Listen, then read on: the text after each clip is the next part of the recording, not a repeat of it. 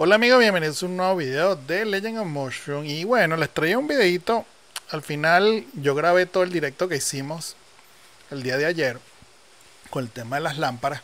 Pero al final creo que al mejor hacerles un video aparte totalmente con el tema de las lámparas y el resultado. Entonces miren, nos lanzamos 148 mil lámparas más o menos, porque estuvimos avanzando bastante en la campaña, entonces probablemente llegamos por ahí como a las 148 mil lámparas. Y de toda esa historia, miren, pudimos sacar no 6 seis, piezas de equipo para el mago, que es mi build principal, de equipo Eternal. No son las mejores piezas, de hecho vamos a ver aquí, por ejemplo, aturdimiento está bien, pero recuperación no nos sirve. Crítico de habilidad está bien, pero contraataque no. Eh, crítico de habilidad está bien. Eh, este ni nos sirve para nada. Crítico de habilidad y este aturdimiento. Al final yo lo que busqué era tratar de no perder tanto. Yo estaba más o menos como en 25, como por aquí más o menos de aturdimiento igual y estaba como en 80 en crítico de habilidad. Entonces al final quedamos en 73 y en aturdimiento sí quedamos igual. Pero el salto que dimos en, los, en ataque, salud y defensa fue una cosa descomunal. Entonces creo que al final sí vale la pena sacrificar un poquito de tus stats, siempre y cuando el daño no sea tanto, no bajes tanto, de tal manera que eh, no te cueste tanto. Igual, eh, en el caso del mago, por ejemplo, bajar de, o sea, dejar a 70 el crítico de habilidad no está mal, porque acuérdense que, bueno, yo siempre llevo la matriz del tarot para todos lados. Y acuérdense que la matriz del tarot nos sube 10% crítico de, de habilidad, de probabilidad, y también obtiene 1% de probabilidad de crítico de habilidad adicional por cada 3 de probabilidad de crítico de habilidad que tenga. ¿ok? Entonces esto es como que si tuviéramos 70 entre 3 más o menos. Como 23 más o menos. Sí, más o menos como 23. Entonces al final, la verdad es que cuando estás en batalla y tiras la matriz del tarot, mientras dure la matriz del tarot, tienes prácticamente 100% de crítico de habilidad si estás al 70 por ahí, ¿no? Que eso en arena está bien, porque las peleas de la arena duran básicamente esos 5 segundos, difícilmente te va a dar chance de volver a hacer las habilidades otra vez y lo que uno busca como mago al menos es un anchotear, o sea que te vale bien. Y tal vez donde te puede afectar un poquito más es en el tema de PvE y enemigos y eso, porque uno sí hace muchas veces habilidades. Entonces, bueno, eh, cuando no tienes el efecto de la matriz del tarot, bueno, estarás al 70 y algo por ciento de probabilidad de crítico de habilidad, pero no está mal. Igual ahí eh, iremos mejorando, pero yo creo que vale la pena sacrificar ese poquitín. En mi caso fueron 7% de crítico de habilidad por tener muchísimo más eh. Entonces, fíjense, de Power, para que ustedes se den una idea, idea yo tenía 40.280 o sea que subimos 3 millones y el power, que no está mal. Llegué a tener 4, pero al final cambié cosas porque la verdad que me salieron eh, varias amarillas con crítico de habilidad y aturdimiento. Entonces no, no lo podía desperdiciar. De hecho, creo que las 4 están así. Bueno, sí, fíjense. Las 4 amarillas que me quedaron todas tienen crítico de habilidad con aturdimiento. Entonces preferí dejar eso para no sacrificar tanto al final, ¿no? Eh, más o menos por ahí fue el análisis de, cómo hice eso. Entonces, fíjense, aquí subimos casi 3 millones y algo. Fíjense, en, en salud fue donde dimos el salto más grande. En salud estamos en 11.016 y quedamos en 18.816. O sea, casi le metimos el... De hecho, estaba en 20. Pero cuando hice los cambios quedó en 18. O sea, casi el doble en salud. Es una locura. En ataque estábamos en 272 y quedamos en 306.3. Está mal. Y donde tal vez donde subimos menos fue en defensa, que estábamos en 68.426 y ahora estamos en 77.338.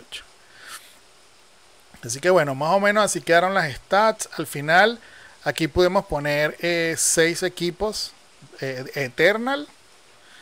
Eh, pero fíjense que, por ejemplo, para la build de, de Berserker, de Ballestero, por ejemplo, miren, puede sacar cuatro piezas de equipo. Y para la de Guerrero o Berserker puede sacar cinco piezas de equipo. Ah, y de paso tuve esta que es con... Eh, esto es crítico de habilidad de combo, no creo que sea esta. O sí. Ya, déjenme ponerme esta porque ahí ya me quedó la duda. Vamos a cambiarnos a esta. Ah, una montura ahí que se... Vamos a cambiarnos a esta. Y vamos a ver qué era esto. Crítico de habilidad con combo, sí, al final era ese, crítico de habilidad con combo. La, dejé aquí porque tenía crítico de habilidad, ya tenía creo que esta en, el, en la de combo, entonces preferí dejarla por ahí, guardarla como para tenerla ahí por si acaso.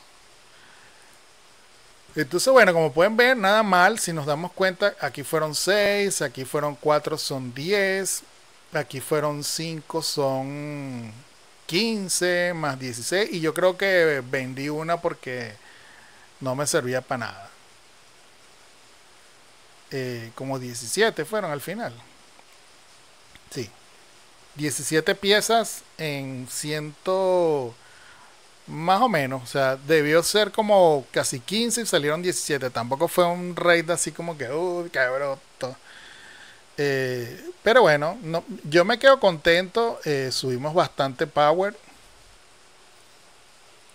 Eh, el tema es que, bueno, todo el mundo también subió, ¿no? Entonces, digamos que comparándonos con otra gente no fue tanto lo, lo, que subimos, pero sí, por ejemplo, pudimos avanzar algo aquí en el, por ejemplo, en la prueba de alma guerrera, que estábamos súper pegados por allá abajo.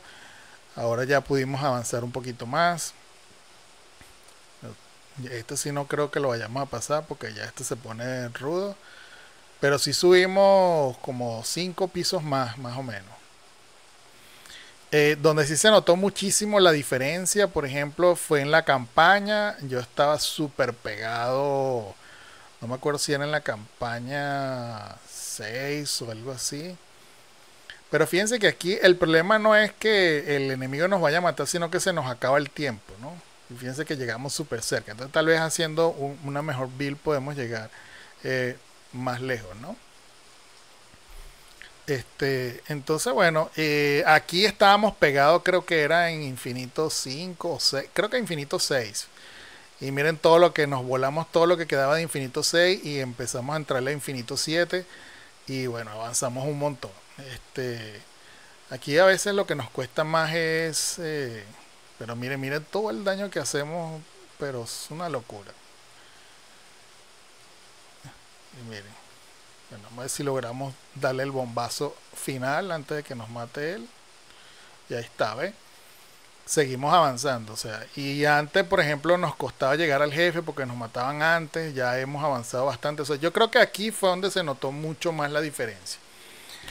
Entonces, bueno, ya más o menos vieron la diferencia de power solamente poniéndonos 6 piezas. Imagínense cuando, si nos ponemos las 4, esto se va a disparar un montón y todas las stats, pero no vale la pena hacerlo eh, porque vas a perder mucho de tus stats si no tienes, digamos, las stats que tú necesitas. Por ejemplo, perder mucho combo, perder mucho crítico de habilidad no tiene mucho sentido.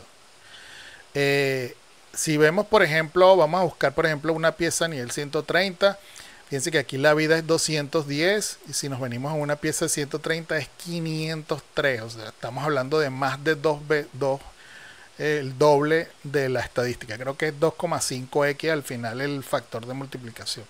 Y por ejemplo, si vemos el ataque, este es 4051 y aquí estamos hablando de 4868. O sea, estamos hablando de 800 puntos de ataque. Eso es como 20% más Sí, más o menos. Lo que más sube es la vida, que es, que es más del doble. El ataque sí es como un 20% más. Y la defensa creo que es menos. La defensa aquí, por ejemplo, era 1347 y pasó a 1600. fueron como 300. 300, sí, también como 20. La defensa tal vez un poquito más, 20 y algo por ciento más. Eh, el tema de la subestat de lo que, lo que es aturdimiento y esas cosas, eso sí se mantiene igual. Por ejemplo, este crítico de habilidad está en 3.3 y una doradita, por ejemplo, que tiene crítico de habilidad está en 3.49. Entonces ahí digamos que el, tema de los subestat, por eso sí ya lo sabíamos, Eso sí se mantiene, su valor este, va a subir de acuerdo al nivel del, del equipamiento que tú tengas, pero digamos, como ya pueden ver, una, una pieza eh, Eternal de 129 o 128 va a tener el mismo crítico de habilidad que una pieza eh, dorada. O sea, eso no, no, va a cambiar, no va a ser más alto porque sea Eternal, ¿ok? Lo que sí ya vieron que va a cambiar definitivamente eh, son las estadísticas de, de vida, ataque y defensa. Eso sí la, diferencia es pero abrumadora y por eso es que damos el salto grandísimo en, en estadística.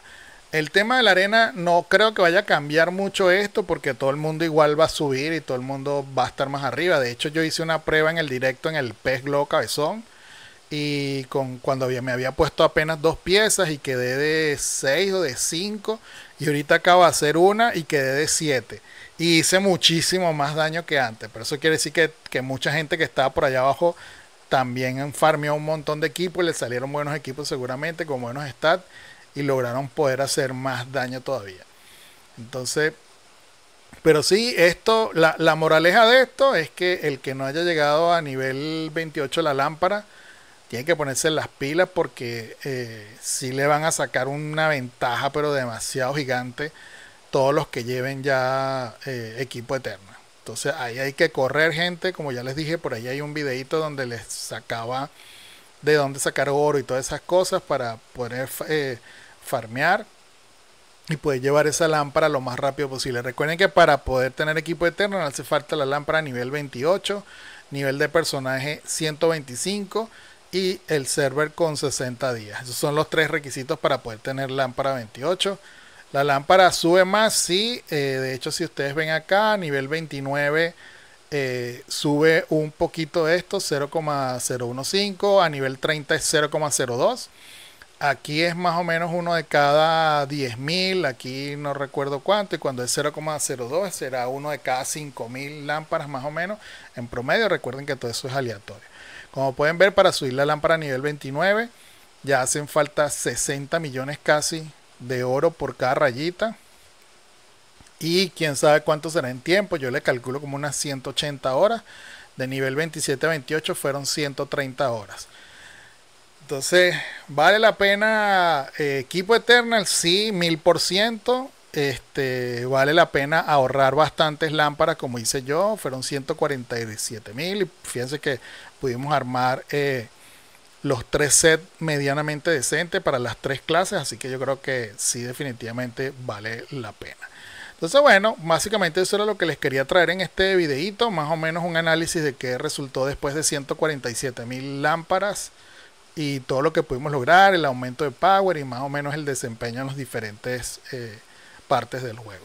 Espero que les haya gustado el video, que les haya sido de ayuda. Si es así, por favor denle like, suscríbanse al canal y nos vemos en un próximo video. Bye bye.